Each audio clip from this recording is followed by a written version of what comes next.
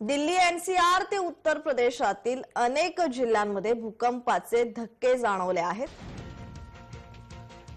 Delhi NCR ते उत्तर प्रदेशातील अनेक जिल्ह्यांमध्ये भूकंपाचे धक्के जाणवले आहेत.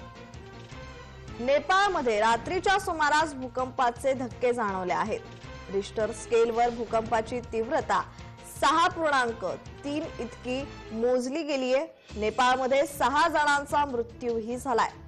दिल्ली एनसीआर ते उत्तर प्रदेशची राजधानी लखनौ कानपूर मुरादाबाद बरेली आग्रा आणि मेरठसह अनेक जिल्ह्यांमध्ये मंगळवारी रात्री भूकंपाचे दोन धक्के जाणवले.